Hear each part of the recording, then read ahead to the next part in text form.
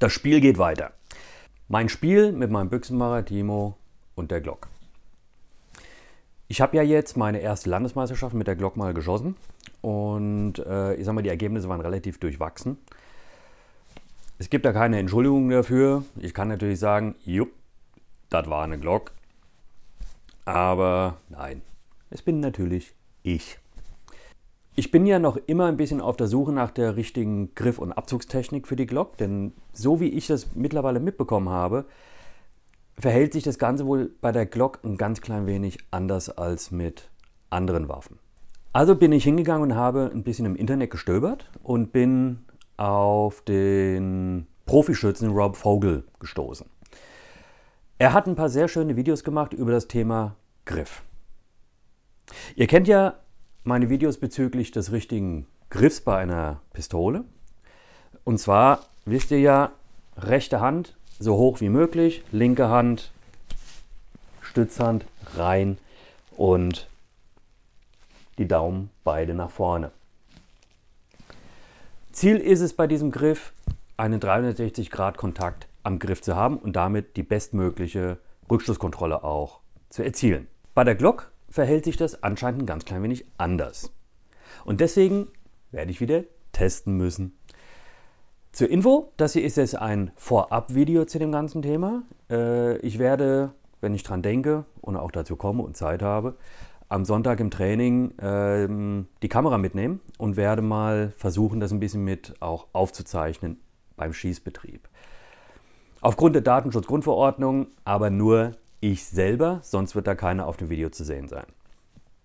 Aber jetzt ganz kurz zur Erklärung der alternativen Grifftechnik aller Bob Vogel. Wir haben hier die Glock 17 Gen 4 FS, ein Magazin mit Pufferpatrone.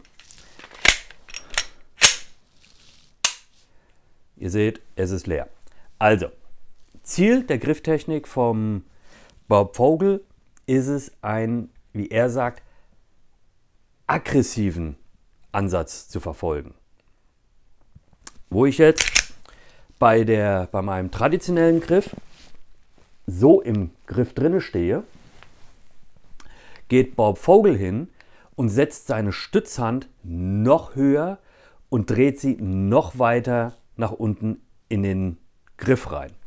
Das heißt, letzten Endes steht er mit seiner Hand und dem fleischigen Teil von der Daumenwurzel hier oben am Griff.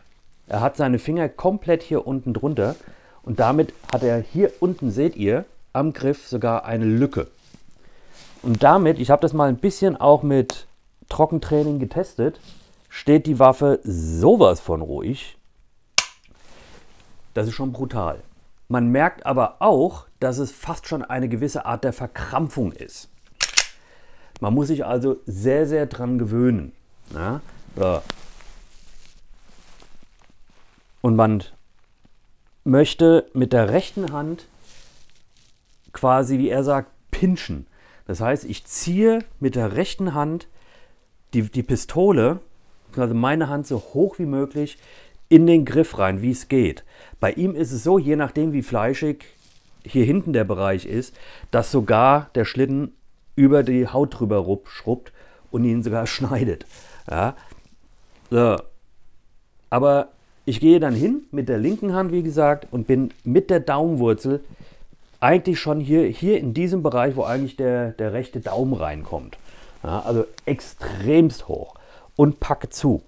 Die Ellenbogen drehe ich nach außen und damit erzeuge ich eine, eine Drehung im Handgelenk, die die Waffe wieder quasi korrigiert und nach rechts rüber drückt.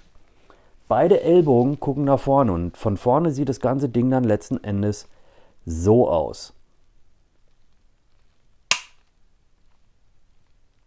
Das Thema bleibt spannend. Wir werden sehen, wie sich das tatsächlich am Sonntag auf der Range bemerkbar macht, ob sich dadurch meine Linkslastigkeit mit der Glock nach rechts rüber korrigiert, so wie ich mir das eigentlich erhoffe, oder ob es Bullshit ist. Wir werden sehen. Aber wie gesagt, das Spiel geht weiter und ja, wir schauen mal.